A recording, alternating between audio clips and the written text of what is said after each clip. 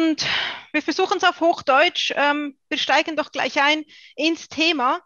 Participatory Budgeting in unserem aktuellen Jahrhundert. Wir haben es versucht, wir haben es gemacht, wir sind stolz darauf und gerne teilen wir heute, was wir erlebt haben. Ähm, die, nächste, die nächste Zeit haben wir daher auch ein bisschen strukturiert. Wir möchten euch eine ganz eine kleine Informa Introduction geben zu uns, wer wir sind, warum wir das tun, was wir tun. Ähm, gehen dann auf das Participatory Budgeting ein und dann kommt schon der Hauptteil, auf den ihr euch alle freut. Wie haben wir uns vorbereitet? Was war das überhaupt für ein Event? Was ging dazwischen? Was haben wir gelernt? Was sagen unsere Teilnehmenden? Und dann sind wir natürlich auch sehr gespannt zu, auf eure Meinung. Was habt ihr für Erfahrungen? Was gebt ihr uns mit ähm, auf die Diskussion ganz am Schluss? Und ich freue mich auf, auf den Austausch. Zu der Introduction ähm, eine, ein paar Disclaimer vorneweg. Wir sind das, das Safe Meetup, das geschieht alles auf dem äh, Scaled Agile Framework und wir haben offiziell ähm, von SAFE auch die Freigabe erhalten, heute über das Participatory Budgeting von SAFE, angelehnt an SAFE, ähm, erzählen zu dürfen. Also das ist auch offiziell ein Dankeschön in die Richtung an SAFE, die das ermöglicht haben und es auch überprüft haben. Ähm, wir haben das Ganze ein bisschen angepasst, also die Slides, die ihr finden werdet, sind nicht eins zu eins. Ähm, das heißt, die, die Bilder, der Content, das ist, das ist Safe Kontext, aber wir haben es bei uns angepasst, so wie es für unseren Fall gilt, so wie es bei uns in unserer Firma angewendet wird. Zweiter kleiner Disclaimer. Ähm, wir haben alle Beispiele, die ihr sehen werdet, anonymisiert. Also das ist so in echt nicht geschehen, sondern wie gesagt anonymisiert. Die Freunde unter uns, die Alumnis, die wissen es, äh, Zülke verkauft kauft keine Früchte. Das ist unser, unser Showcase hier.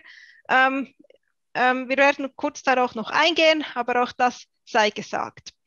Ähm, wir haben, wie, wie erwähnt, die, äh, die Prozesse und auch die Value Streams für den Fall Zülke adaptiert, so dass wir es heute hier präsentieren können.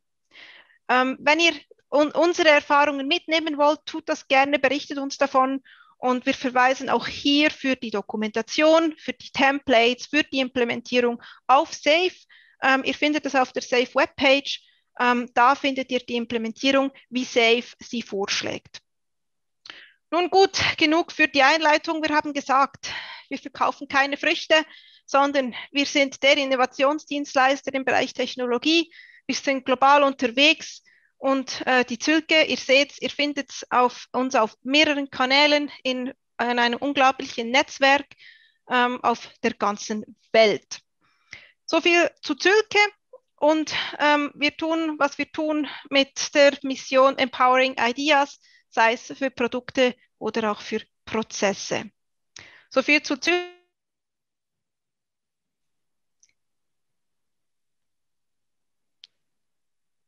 Dann noch einige wenige Worte zu mir. Ähm, mein Name ist, ist, Nadine. Ich bin, ähm, wenn ich nicht gleich an Safe Meetups etwas präsentiere, bin ich Projektleiterin, auch im Product Delivery unterwegs. Ich bin SBC ähm, und ähm, begleite diverse Teams in die Agilität und habe mich generell der Transformation verschrieben. Wo Neues geschieht, da bin ich interessiert und da bin ich dabei. Ihr findet mich auch auf diversen Kanälen. Ähm, ich wär, würde mich freuen über ein Connect, damit wir auch in Kontakt bleiben können. Ich bin nicht alleine hier. Ich habe das Participatory Budgeting bei Zülke nicht alleine gemacht. Romano, wer bist denn du? Ja, ähm, auch ein herzliches Willkommen von mir. Ähm, ich bin Romano Roth, ich bin der Head DevOps äh, bei Zülke. Ich bin seit äh, 19 Jahren äh, bei der Zülke Engineering dabei, bin direkt äh, von der Universität zur Zülke gegangen, habe dort als Junior Software Engineer äh, gearbeitet, äh, vor allem im .NET-Bereich. Die Applikationen wurden dann immer größer. Ich wurde Expert Software Engineer, nachher ähm, Lead Software Architekt und dann Distinguished Consultant und eines meiner Herzensangelegenheiten, das war eigentlich schon immer DevOps. Ähm, ich habe mich immer um CI/CD-Pipelines ge gekümmert, habe mir das äh, angeschaut, habe äh, geschaut, wie man ähm, Qualität sichern kann. Und daher ähm, habe ich äh, jetzt auch verschiedenste Videos äh, online gestellt. Ihr findet das auf meinem äh, YouTube-Channels. Ähm, dort geht es vor, vor, allem um DevOps, um Agilität ähm, und um äh, Architektur und natürlich auch um äh, CI-CD-Pipelines. Das Thema DevOps äh, begleitet mich auch im Privaten. Next. Ähm, und darum bin ich auch der Organisator der DevOps äh, Meetups äh, Zürich. Ähm, das äh, ist ein monatliches Meetup, ähm, das äh, zurzeit remote äh, stattfindet. Das nächste Meetup findet am 16. Juni statt und geht auch äh, um das Thema natürlich DevOps. Next. Ähm, ich bin auch der Organisator der DevOps Days äh, Zürich. Äh, das ist eine jährliche Konferenz, äh, wo wir rund um DevOps machen. Ähm, ist eine zweitägige Konferenz, findet am 7. und 8. September statt. Ähm, wir werden das vor Ort äh, werden wir das äh, stattfinden lassen. Wenn das nicht möglich wäre, würden wir die Konferenz äh, postponen. Wir haben jetzt gerade das Programm zusammengestellt und ich kann euch sagen, es ist echt hammermäßig. Wir werden es bald publizieren. Ja, damit zurück zu dir. Äh, nein, ich bin ja noch weiter dran. genau. ähm, nun als allererstes wollen wir natürlich mal herausfinden, welches Problem haben wir denn, Nadine und ich, versucht zu lösen bei der Zülke. Also, ich bin ähm, bei der Zülke bin ich zu diesem Früchtekomitee gerufen worden, weil die hatten da so ein paar Probleme äh, bezüglich Verteilen von Budget.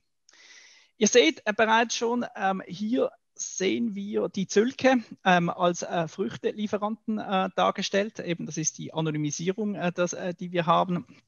Hier, ähm, ihr seht, äh, dass wir Äpfel verkaufen, Bananen verkaufen, ähm, Zitronen verkaufen. Das äh, sind natürlich, ich sage jetzt mal, Offerings, das sind Marketingaktivitäten, das sind äh, konkrete ähm, Lösungen, die, die wir anbieten, die jetzt einfach hier anonymisiert sind. Ihr seht auch, dass es äh, dedizierte Teams gibt, die Äpfel verkaufen oder Bananen verkaufen. Und ihr seht auch, dass es so Team X und Y und Z gibt, die, ich sage jetzt mal, da so ein bisschen dazwischen sind, ähm, die, ähm, die da ähm, im Prinzip auch noch äh, Dinge machen, um, äh, um uns zu ermöglichen, Äpfel zu verkaufen diese Teams, ähm, die wollen natürlich das Äpfel verkaufen oder Bananen verkaufen, möchten sich verbessern und haben dementsprechend Projekte, äh, die sie durchführen. Und für diese Projekte brauchen die Geld. Ähm, diese Projekte sind zum Beispiel Molekularäpfel äh, zu machen oder blaue Bananen zu verkaufen anstatt gelbe oder äh, süße äh, Zitronen. Nun, jährlich müssen die ähm, diese Projekte einreichen und das Früchtekomitee schaut sich dann diese Projekte an. Und natürlich ist es immer so, dass viel zu viel eingereicht wird. Ähm, also diese 100.000, ähm, welche nicht auch nicht dem richtigen Budget entsprechen, ähm, die reichen bei weitem nicht aus, um alle diese ähm, Projekte zu finanzieren. Nun, dieses Früchtekomitee schaut sich über diese Liste drüber hat selbstverständlich keine Ahnung äh, von Monokularäpfel oder blauen Bananen und äh, was das ja eigentlich genau soll. Und was macht das Früchtekomitee? Ja, pff, mal alles dividieren durch zwei und dann einfach mit der Gießkanne mal so ein bisschen drüber, ja, dem noch ein bisschen und den kenne ich ja und äh, da können wir vielleicht noch ein paar Franken äh, mehr geben. Ähm, niemand ist zufrieden äh, damit. Ähm, ähm, es herrscht eine, eine große Unzufriedenheit. Und das ist im Prinzip eigentlich äh, so, so ein bisschen das Hauptproblem, das wir versuchen äh, zu, zu lösen hier. Nun, eine mögliche Lösung ist Participatory äh, Budgeting, ähm, respektive der Portfolio-Level äh, von SAFE. Next. So, was ist denn jetzt genau dieses Participatory Budgeting, von dem wir hier reden? Next. Für das müssen wir zuerst mal einen Schritt zurück machen und jetzt kommt ein kurzer Theorie-Input. Ich weiß, dass äh, viele von euch äh, hier ähm, bereits schon sehr gut sind bezüglich Safe. Dementsprechend werde ich jetzt hier die Geschwindigkeit ein bisschen hochschalten. Äh, Nicht, dass der Nico äh, uns noch äh, wegschläft. Also, ähm, hier seht ihr das äh, Safe Big Picture. Ihr seht den Portfolio-Level dort oben und um den geht es, weil dort, ihr seht es in grün, ist das Participatory Budgeting drin. Aber um diesen äh, Layer besser kennenzulernen, müssen wir verstehen, was ist genau ein Portfolio. Next. Ja, was ist denn dieses Portfolio? Ein Portfolio managt mehrere Value Streams. Ähm, also ein Portfolio kann mehrere, also eins oder mehrere Value Streams beinhalten, welche eine Solution liefern. Solution ist ein sehr großer Begriff in, in Safe. Das kann äh, so ziemlich alles sein, also von, von einem äh, Flugzeug äh, bis hin äh, zu, zu einem äh, Hörgerät ähm, oder auch einer Dienstleistung kann das äh, ziemlich alles sein. Also diese Value Streams liefern das und so ein Value Stream, der kann in einem Unternehmen tatsächlich auch eine Business Unit äh, darstellen, muss aber nicht oder eine Division. Next. Ein Unternehmen kann mehrere ähm, solche Portfolios haben. Also ein großes Unternehmen hat mehrere Portfolios, kleinere Unternehmen haben meistens ein Portfolio. Und wenn wir Next klicken, dann seht ihr hier ähm, das äh, Zülke-Portfolio. Ähm, Zülke hat mehrere Portfolios, die wir identifiziert haben. Und eines dieses Portfolios ist das Früchte-Portfolio. Und äh, da schauen wir uns jetzt mal genauer an, was wir da gemacht haben. Also ein Portfolio liefert immer einen Value Stream oder eben mehrere Value Streams. Next. Aber was ist denn jetzt genau so ein Value Stream? Next. Ein Value Stream ist eine Prozesskette. Also das heißt, es hat immer einen Trigger, dann kommen Prozessschritte und hinten kommt dann der Value heraus. Also dann haben wir wirklich einen Wert, den wir dem Kunden ähm, entgegenbringen können. Oben seht ihr die Silos. Ähm, ganz häufig ist es so, dass Organisationen, und da ist Zülke äh, nicht anders, in Silos unterteilt sind, also in, einfach in Organisationseinheiten, ähm, welche halt entgegen dem Wertstrom ähm, aufgebaut sind. Das heißt, ein Wertstrom geht immer über die Silos hinweg. Und es ist wichtig, sich in, in der Zukunft eben am Wertstrom zu orientieren, damit man eben auch schneller Wert liefern kann. Next.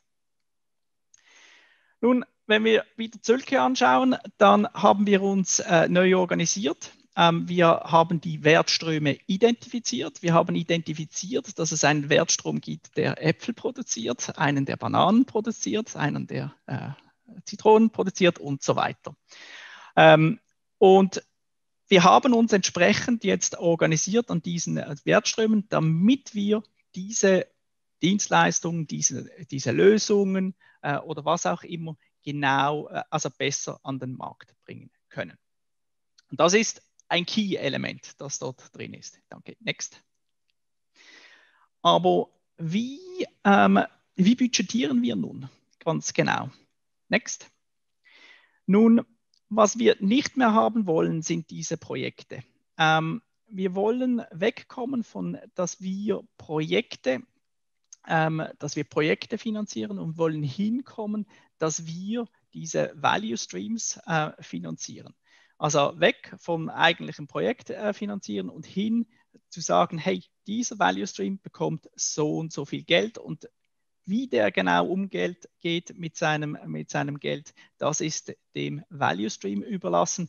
Das muss der anhand von den strategischen äh, Themes, äh, die wir auch hier drin sehen, muss der, muss der sein Geld einsetzen. Also mehr in Richtung Entrepreneurial Thinking, dass er, die, also dass der Value Stream die Verantwortung übernimmt. Next. Nun, wieder auf Zülke appliziert, ist es so, dass natürlich die gesamte Zülke äh, einen großen Budgettopf hat. Daraus ähm, kommt ein, ein Schnitz raus, der für das Früchteportfolio ähm, verwendet wird. Und ähm, dieses, ähm, dies, dieser Schnitz wird dann wiederum aufgeteilt auf die verschiedenen Value Streams. Also die Value Streams bekommen dann diesen, äh, dieses, dieses Budget zugeschätzt. Ähm, wir haben natürlich eine Strategie und aus der Strategie haben wir Objectives und Key Results abgeleitet. Also das heißt, die Value Streams werden anhand der Objective Key, also der OKRs, werden sie ihr Geld entsprechend einsetzen, um mehr Äpfel oder mehr Bananen zu verkaufen. Next. Nun, ähm, nichtsdestotrotz, wir haben vorher gesagt, dass, dass wir eben nur noch Value Streams ähm, machen wollen und keine Projekte. Ähm, aber wir brauchen dafür natürlich sogenannte Epics. Und das ist äh, ein wichtiger Bestandteil, next, den wir haben wollen. Ein Epic ist eine signifikante Solution, äh, welche wir liefern. Und was wichtig hier ist, ist, Epics sind nicht gleich einem Projekt. Der Hauptunterschied, den ich hier rausschälen will, ist, dass wir beim Projekt klare Deliverables haben, also ein klares Budget, klare, ähm, klare Requirements, die abgearbeitet werden müssen und die geliefert werden müssen. Bei einem Epic gehen wir hin und liefern ein sogenanntes MVP, ein Minimal Viable Product, welches geliefert wird. Und next. Dabei ist wichtig, dass wir ein sogenanntes Epic-Hypothesen-Statement machen. Was, und da kommt jetzt der große Unterschied zu, zu einem Projekt. Bei einem Projekt haben wir ein ganz klares Ziel, das wir verfolgen, ganz klare Liefer, äh, Lieferungen, die wir einhalten wollen. Bei einem Epic gehen wir hin und sagen, hey, wir haben eine Idee, wir haben eine Hypothese und diese Hypothese wollen wir validieren. Das heißt, wir gehen hin und definieren für wen wir das machen, wer ist unser Kunde, was für ein Problem lösen wir. Das ist sehr, sehr knackig, wenn man das macht. Und welchen Business Outcome wollen wir damit erreichen? Und was sind die Leading Indicators? Also mit welchen ähm, Indikatoren können wir messen, dass unsere Hypothese validiert wird? Also das heißt, wir, wir sind damit in der Lage, so ein, also ein Epic sehr, sehr schnell am Markt zu validieren. Und das sind eben nicht die Lagging Indicators, also die irgendwann mal später kommen, sondern eben die Leading Indicators, mit denen können wir sehr früh können wir das äh, überprüfen, dass das Epic äh, eben funktioniert. Also das heißt, wir brauchen solche Epics. Next. Also seine Epic-Hypothese macht eben, dass wir wissen, dass wir das Richtige liefern und dass das das ist, was der Kunde wirklich will und dass wir da mehr Geld investieren äh, sollten. Next. Das sieht dann äh, so aus. Ähm, wir haben natürlich jetzt ein entsprechendes Budget, das wäre hier 100.000 äh, Schweizer Franken, welches verteilt wird auf die verschiedenen Value Streams. Und die Value Streams, die haben jetzt Epics, also Hypothesen, welche Sie am Markt überprüfen wollen, ähm, wo Sie etwas ändern am Markt, eben zum Beispiel äh, Molekularäpfel äh, machen oder blaue Bananen äh, verkaufen. Next. So, Nadine, wie funktioniert denn jetzt genau dieser Budgetprozess? Weil wir wissen ja jetzt noch nicht genau, wie wir das äh, verteilen, oder? Das ist richtig, Romano. Das wissen wir noch nicht. Ähm, und wir wissen ja auch noch nicht, äh, wir als das Team Äpfel, wir wissen ja wahrscheinlich noch nicht, was die Zitronen Tolles vorhaben und ob das vielleicht für, den, für das Gesamtportfolio besser wäre für die Ausrichtung. Du hast Strategie und, äh, und OKRs erwähnt. Wichtig zum Erwähnen, auch hier ähm, unsere Value Streams, die wir erwähnt haben, auch die müssen sich von Zeit zu Zeit anpassen. Auch die haben nicht immer ähm, gleich viel Mehrwert, die sie liefern. Ähm, gemäß SAFE ist die, ähm, die Empfehlung, ein Value Stream Budget zweimal im Jahr anzupassen. Ihr seht auf der Grafik in der rechten Seite beispielsweise der hellblaue Value Stream 1 hat ähm, für das PI3, also im Halbjahr, ähm, weniger Budget zur Verfügung. Und auf der anderen Seite der grüne Value Stream 4, der erlebt gleich zwei Veränderungen, und zwar vom PI2 zum 3 und auch vom PI3 zum PI4.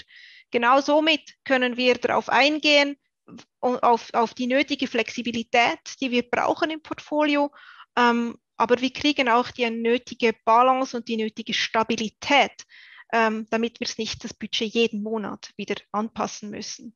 Daher ähm, die, der, der, die Empfehlung von SAFE zweimal im Jahr, nicht mehr, nicht weniger.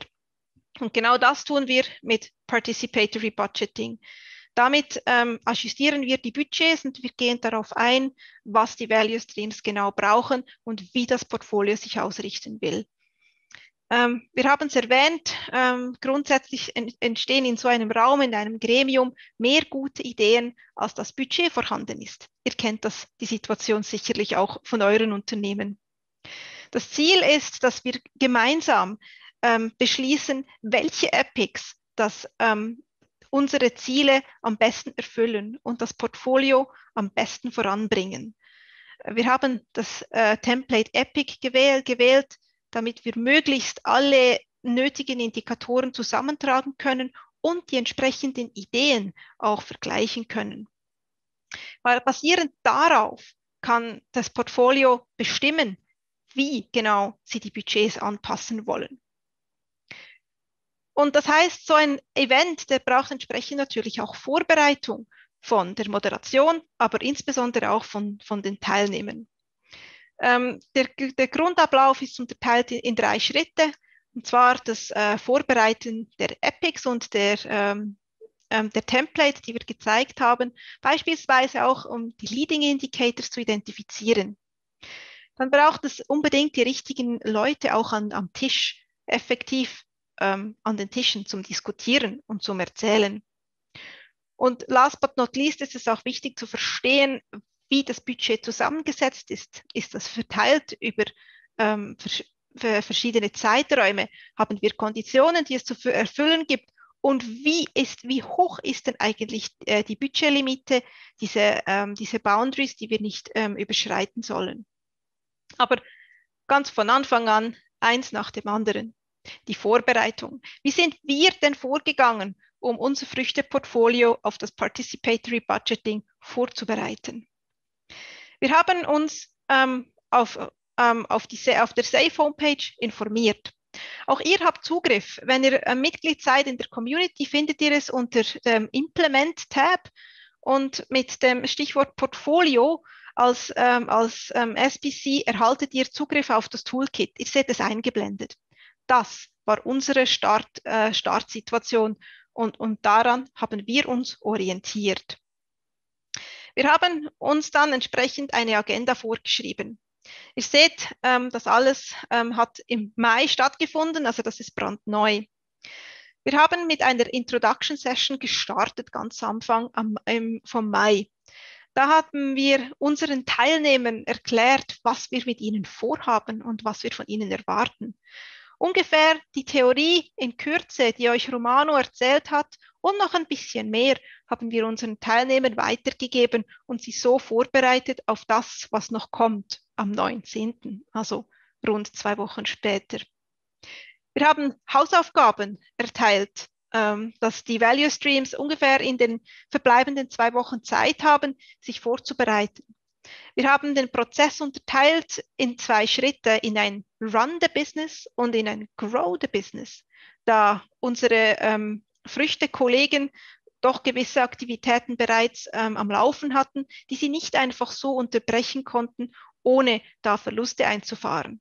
Also vielleicht eine Meetup-Präsentation von der Gruppe Apple, die wollten sie nicht stoppen. Das ist alles Run the Business.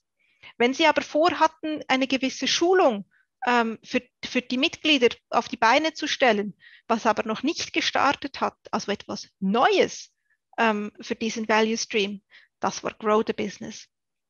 Die Value Streams haben so entsprechend ihre Epics vorbereitet und sich Gedanken gemacht mit, wie sieht denn unser Plan überhaupt aus? Wir haben ähm, für die kalkulatorische Hilfe ähm, das Ganze in das Excel-Sheet abgegossen von, von, von SAFE.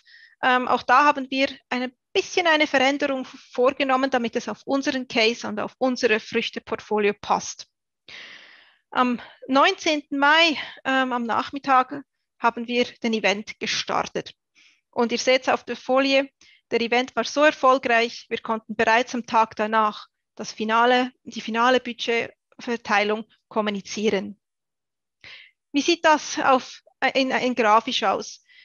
Wir haben die, ähm, die Inputs auf der linken Seite. Wir haben einen bestimmten Topf an Budget zur Verfügung. Hier in unserem Früchtebeispiel ähm, rechne ich einfach auf die 100.000 angeglichen. Wir haben unsere Strategie im Kopf. Wir wissen, welche Ziele wir erreichen wollen und wir wissen, welche Epics wir dafür einsetzen wollen.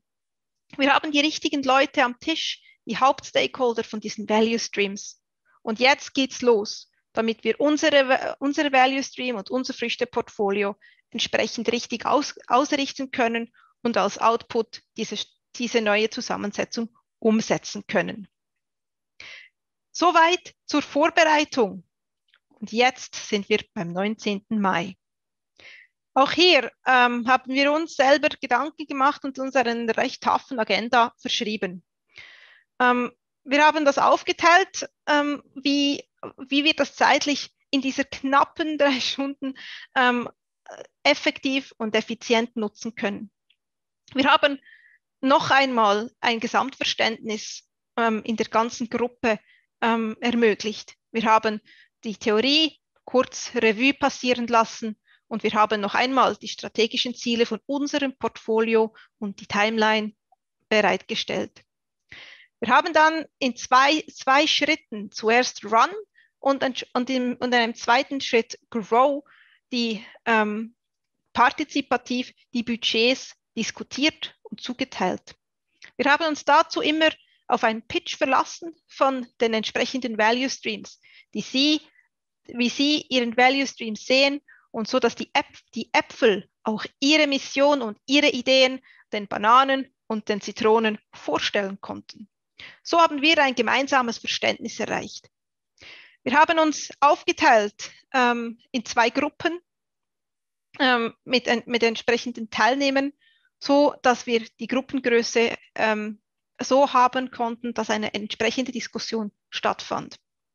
Das haben wir für das Grow wiederholt und uns am, Schluss ähm, noch einmal zusammengetroffen. Wir haben das gesamte Portfolio reviewed. Wir haben uns einem Confidence Vote unterzogen und, und um einen, einen Einblick zu kriegen, wie stark wir auch an, an diese Vision und an diese Entscheide glauben.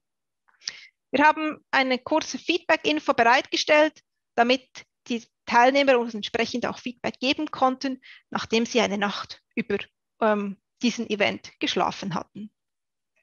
Wenn wir uns noch einmal zurückbesinnen auf unser Big Picture, wie wir gestartet sind, mit unserem Portfolio, ähm, das die entsprechenden Früchte beinhaltet ähm, und die Früchte, Value Streams, die entsprechende Epics vorbereitet haben, die sie doch sehr gerne jetzt noch umsetzen wollen. Wir haben im Detail diese, ähm, dieses Participatory Budgeting Event so durchgeführt mit den Vorlagen von SAFE. Das Run ähm, haben wir genau mit zwei, zwei Tischen durchgeführt. Das Wichtige hier ist, dass jeder Tisch das gesamte Budget verteilt. Und zwar nicht nur an die teilnehmenden Value Streams, die am Tisch vor Ort präsent sind, sondern auch an jene, die nicht dabei sind. Das heißt, wir haben zweimal eine komplette Lösung diskutiert. Am Schluss sind wir wieder zusammengekommen und haben uns auf ein entsprechendes Run geeinigt. Wir haben nochmals Diskussionen geführt und die entsprechenden Votes aus den beiden Teams gehört.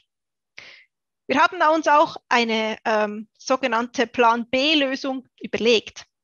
Was wäre, wenn wir hier jetzt keine Einigung oder keine gute Einigung im Sinne von Entrepreneurial Thinking erreichen würden?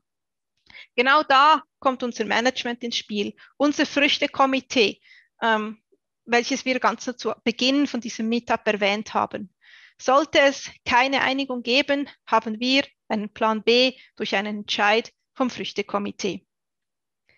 Das heißt, schlussendlich, ich sehe jetzt unten rechts am, am Bildschirm, wir haben von ähm, dem ursprünglichen Gesamttopf jetzt einen Teil ähm, reduziert, und zwar den Teil, welche die Value Streams so oder so verwenden, zu verwenden gedenken, damit sie ihr Business aufrechterhalten können und keine Verluste einfahren mit den bereits geplanten ähm, und, und sich in Planung befindenden Aktivitäten. Wir sind nach dieser Einigung schon zur, zur Halbzeit angetreten.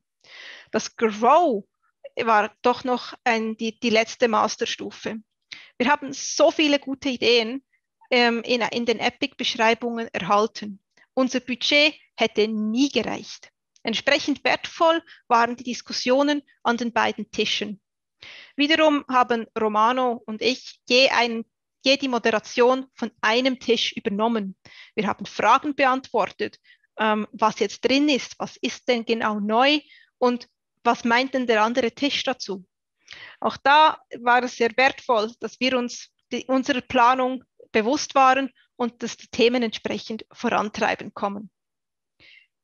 Nach der Tischdiskussion kamen wir zusammen und haben das mit, mit allen Stakeholdern am Tisch diskutiert. Wir haben die Vorschläge, die erarbeitet wurden, ähm, review, reviewed und nochmal ajustiert. Sogenannte Schulterschlüsse und letzte Aha-Momente sind auch da noch aufgetreten, wo wir die richtigen ganzen Stakeholders von diesem Portfolio ähm, gemeinsam in die Diskussion in, einbinden konnten. Auch hier hätten wir einen Fallback-Plan gehabt, und zwar den genau gleichen wie beim Run. Unser Management, unser, Früchte und unser Früchtegremium war auch hier vertreten und, und haben live mit, miterlebt, was das, das Team diskutiert. Zum Glück haben wir das nicht gebraucht. Wir haben volles Vertrauen in unsere Value Streams und dass sie ihr Entrepreneurial äh, Denken auch anwenden können. Wir haben euch ähm, unser Excel mitgebracht, wie das heute aussieht. Ich möchte auch hier noch einmal kurz an den Disclaimer erinnern. Ähm, Zülke verkauft nach wie vor keine Früchte. Das sind wirklich, sind wirklich fiktive Zahlen und ein fiktives Beispiel. Ihr seht hier eine dieser Tischdiskussionen.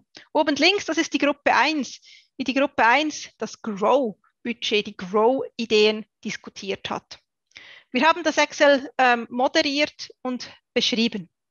Entgegen der, der, ähm, der Vorlage von SAFE haben wir in Optionen gedacht. Eine Option, wir finanzieren nur Äpfel. Oder eine zweite Option, wir wollen von allem ein bisschen.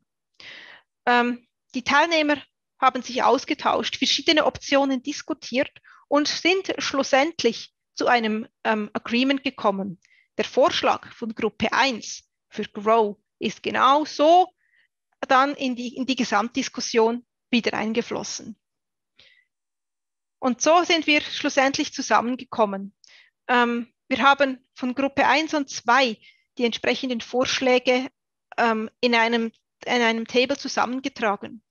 Und ihr seht auf der rechten Seite, es gab doch einige Vorschläge, einige äh, Ideen, Epics, die gar kein Funding erreicht haben, wo der Epic-Owner sagt, ich unterstütze doch lieber eine, eine, eine andere Früchtegruppe, weil da profitiere ich mit. Das ist äh, entrepreneurial gedacht, der bessere Weg als dass wir 50-50 äh, das Budget aufteilen oder generell uns noch weiter verzweigen in unserem Portfolio. Schlussendlich ähm, haben wir ähm, eine einfache Rechnung durchgeführt. Vom Gesamtbudget geht ein Teil ans Run, das, das Übrige wird verteilt auf das Grow und ähm, das Ziel ist mit einer schwarzen Null ähm, mindestens oder noch ein bisschen Reserve aus, dem, aus dieser Diskussion auszusteigen. Wir haben es geschafft. Auch wir sind mit einer schwarzen Null aus dieser Diskussion herausgekommen. Wir haben entsprechend das so eingereicht und zur Nachbereitung für unser Früchtekomitee aufbereitet. Nach dem Event ist vor dem Event. Es gab dann doch noch einiges zu tun. Es gab, zu, ähm, es gab die Resultate zu aggregieren, die Investments zu prüfen und zu schauen, ob wir denn jetzt wirklich alle Guardrails, also alle, alle Guidelines eingehalten haben. Ähm, wir haben uns zu, einem, zu einer, einer finalen Entscheidung ähm, geeinigt. Eine Entscheidung zu was ist Run, was ist Grow und wie sieht unser Portfoliobudget ähm, einheitlich aus. Und dann kommt der letzte Schluss. Das Ganze muss verteilt werden. Das heißt, die, die neuen Budgets, die müssen effektiv auf äh, die, die Konten der Früchte, der Früchte Value Streams einbezahlt werden. Die Veränderungen, die es braucht, die werden jetzt angetriggert. Und nochmal hier der Verweis, das sind sogenannte Virtual Changes. Also hier ist weder HR noch Rollenteilung involviert. Das bezieht sich effektiv nur auf das Portfolio, also die Virtual Organization, ähm, die auch SAFE stark, äh, stark äh, in den Vordergrund hebt. Bei uns, ähm, in unserer Situation, hat es keine Organizational Changes gebraucht. Das heißt, wir konnten direkt weiterfahren mit dem nächsten Schritt.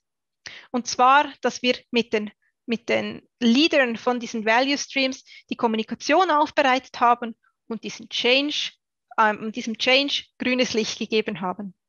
Stand heute, es ist Juni, sind diese Budgets umgesetzt und die Value Streams arbeiten autonom gemäß diesen Budgets. Das war ein Kurzabrieb zu unserem April und Mai, was wir gemacht haben, für Participatory Budgeting bei uns einzusetzen. Weißt du noch, Romano, wir haben viel gelernt. Oh ja, wir haben extrem viel gelernt in dieser kurzen Zeit. Ähm, zuerst wollen wir mal anschauen, was äh, unsere Teilnehmer uns an Feedback gegeben haben, respektive was sie äh, so in diesem äh, ganzen Participatory Budgeting gelernt haben. Also eines der, der meistgenannten Feedbacks, äh, welche wir bekommen haben, ist die Transparenz, äh, die man plötzlich bekommt. Ähm, ihr mögt euch erinnern, der vorhergehende Prozess war so, dass man einfach mit der Gießkanne drüber gegangen ist. Und das gab natürlich sehr viel Unverständnis, ähm, warum jetzt jemand anders mehr bekommt als man selbst. Hier ist es so, dass man äh, unter den Value Streams nun eine volle Transparenz hat, warum jetzt jemand anders mehr bekommt oder nicht. Also es entsteht ein tiefes Verständnis dafür, warum dass man jetzt zusammen, wir zusammen, das ähm, Prinzip so gemacht haben und warum eben nicht. Und das äh, ist eines der ganz, ganz großen äh, Vorteile und das wurde auch entsprechend äh, rausgestrichen. Äh, ähm, Dann die ganzen Diskussionen, die waren extrem wertvoll. Ähm, die einzelnen Value Streams haben eben übereinander extrem viel gelernt.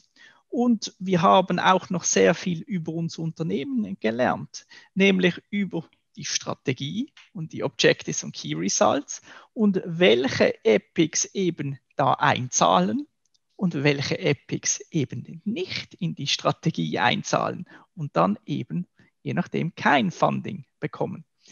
Ähm, und das war natürlich auch etwas, äh, das äh, ein, ein, sehr willkommenes äh, Learning, das wir da haben. Und das hat wiederum zu einem tiefen Verständnis äh, dazu gefügt, äh, geführt, äh, wie dass wir eigentlich ähm, die, die, die, die Firma führen und in welche Richtung wir, wir, wir da gehen. Dann ähm, der Prozess, der wurde als gut befunden, ähm, schnell und effizient. ihr habt das gesehen. Ähm, das war ein wirklich sehr, sehr tougher äh, Zeitplan, den ihr da gesehen habt. Ähm, ein kleiner Tipp von meiner Seite, ich würde das nächste Mal ein bisschen mehr Zeit ein, ein, einplanen. Ähm, warum haben wir so wenig Zeit eingeplant? Aus einem ganz einfachen Grund das ist eine Hypothese. Also wir sind auch hingegangen, also ETO und Dogfood, ähm, Nadine und ich und das, äh, das, äh, das Früchtekomitee sind hingegangen und da haben eine Hypothese aufgestellt. Wir haben gesagt, unsere Hypothese ist, dass wir dadurch besser budgetieren können. Die Hypothese hat sich validiert. Wir wollten aber nicht so viel Zeit investieren. Also ähm, wollten auch äh, sehen, ob das funktioniert und es hat funktioniert und das nächste Mal werden wir definitiv mehr Zeit äh, investieren äh, da rein, um dieses Alignment sicherzustellen. Aber ähm, wir haben natürlich auch äh, Bestnoten bekommen für Moderation. Äh, das liegt natürlich hauptsächlich an äh, Nadine. Danke, Nadine. ähm, dann die Zeit zum Vorbereiten, das war ein großes äh, Thema. Ähm, ihr habt gesehen, wir haben Ihnen zwei Wochen Zeit äh, gelassen, äh, um diese Epics äh, vorzubereiten. Ähm, ich vertrete da halt äh, die Linie, wir hätten Ihnen auch äh, ein Jahr Zeit geben können, um zu vorzubereiten. Sie hätten immer noch gemault, dass Sie zu wenig Zeit hätten. Also aus meiner Sicht sind zwei, zwei Wochen absolut genügend. Aber äh, selbstverständlich können wir äh, das nächste Mal Ihnen zwei Wochen und einen Tag äh, mehr geben. Dann ähm, wichtig ist auch eben, dass es nicht mehr top-down ist. Oder das wurde ganz oft wurde das gesagt. Eben vorher war es wirklich eine top-down-Entscheidung, äh, wo Sie nicht involviert waren. Ähm, und äh, ist das sicher in vielen Unternehmen wird immer gesagt, ja, ähm, ihr müsst, ihr müsst mehr entrepreneurial äh, denken, äh, ihr müsst äh, ihr müsst äh, viel mehr mit dem Business denken, oder? Hier ist es wirklich so, dass wir jetzt die Leute enabled haben und wirklich ihnen die Entscheidung überlassen haben, wie dass sie das Geld ähm, verteilen. Und das, das, das fühlt sich natürlich extrem gut an, weil da bekommt man extrem viel Trust. Ähm, also genau so ähm, bringt man eigentlich Entscheidungsfindung wirklich runter zu, zur Basis, also dort, wo die Arbeit passiert. Ähm, und das wiederum, das steht jetzt hier nicht, das führt natürlich auch zu einem sehr äh, starken Engagement. Also die, die Leute sind viel mehr dabei, oder? Weil hey, man hat jetzt ihnen Geld gegeben, hat ihnen Verantwortung gegeben, die sind da, die sind da viel mehr engaged. Ähm, dann, äh, was, was Sie gern gehabt hätten, wäre ein, ein Meeting ähm, vorher, ähm, um sich bezüglich den Epics abzustimmen. Ähm, das ist etwas, das haben wir aufgenommen. Ähm, das werden wir wahrscheinlich, äh, werden wir das einführen dass man, ähm, also dass wir das Participatory Budgeting gleich lassen von, von der Zeit her, aber dass die Pitches out, ausgelagert werden und dass wir das in einem speziellen Alignment-Meeting vorher machen. Wäre ein Tipp äh, auch äh, für euch, das potenziell, wenn ihr das machen wollt, auch äh, zu machen. Das heißt, den Participatory Budgeting in zwei Teile teilen ähm, und sozusagen ein Alignment-Meeting ähm, teilzumachen, wo man die Epics pitcht und sich aber auch gleichzeitig äh, untereinander äh, alleint. Ähm, ist eine Überlegung wert, ähm, ist etwas, äh, das wir definitiv zurzeit äh, ähm, am Diskutieren sind. Und ähm, dann das Excel, ihr habt es gesehen, da, da, waren schon sehr viele Zahlen drin und sehr viele Informationen. Man wünscht sich mehr Informationen da drin. Also vor allem geht es da auch in die Richtung, äh, man will wissen, äh, wie viele Bananen das man jetzt ganz genau verkauft, oder? Und äh, wie viele Orangen und was jetzt genau der Impact äh, von äh, äh, Orangen auf dem Markt ist versus der Impact von ähm, Bananen auf dem Markt, oder? Also da wünscht man sich mehr mehr Informationen und ähm, was man sich natürlich auch wünscht in, in, in Zukunft oder jetzt äh, geschaut, ja, wie viel Geld hat man dann wirklich verbraucht? Oder? Ähm, das gibt auch so gewisse Indikationen in Zukunft, ähm, wer jetzt wie viel Geld äh, in Zukunft bekommen wird. Ja, ähm, das ist äh, das, was äh, die Participants gesagt haben. Ähm, overall haben wir eine Rating, glaube von, von drei, 3,5 bekommen, ähm, also im, im Schnitt. Ähm, also das heißt, es gab keine, also wir haben eine, ähm, eine Confidence Vote gemacht, äh, Fist of Five. Ähm, sie durften das entsprechend ähm, abstimmen. Es gab keine Zweier. Äh, die meisten waren bei drei und dann gab es ein paar Ausreißer bei vier und äh, bei fünf. Next. Was sagen wir? Ähm, eben die Motivation und dabei von, von, von den Leuten ist, ist extrem key. Ähm, also die müssen wirklich da, dabei sein. Wenn ihr da zu viele Widerstände spürt, ähm, dann kommt das wahrscheinlich nicht gut und da, da müsst ihr Einzelgespräche machen.